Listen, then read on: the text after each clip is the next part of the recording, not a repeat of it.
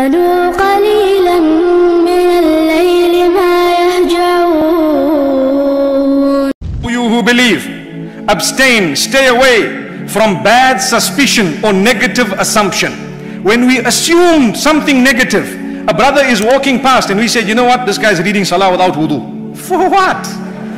It's such a dirty thought. It shows that you perhaps might be doing that. May Allah protect us. You know, a sister is walking in the middle of the night and you say, eh, she's got bad intentions. Why? She could have just gone through uh, some heavy ordeal that you don't even know about. May Allah protect us, brothers and sisters. May Allah protect us all. Have a good assumption, really. Do not have negative thoughts because a lot of the times it displays the negativity in your own mind. You know, they say a dirty mind thinks dirty. So even when someone is speaking very clean, you know, they have a little cloud that pops up above their heads and their thoughts are all within that cloud. And they're bad thoughts. Why? Because a dirty mind thinks very dirty.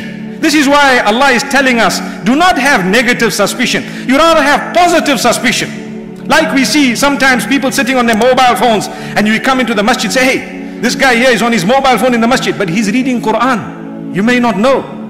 Relax.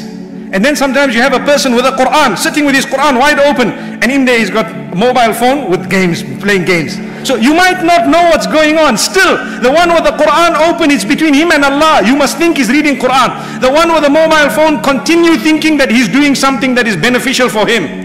Why do we need to think negative? This is what is drawing us away from our own peace and contentment because you think negative of others, believe me, they begin to think negative of you. So what happens? The whole world becomes a negative place. We need to be positive. We need to be people who think good about one another so that tomorrow we will also be thought good of. May Allah subhanahu wa ta'ala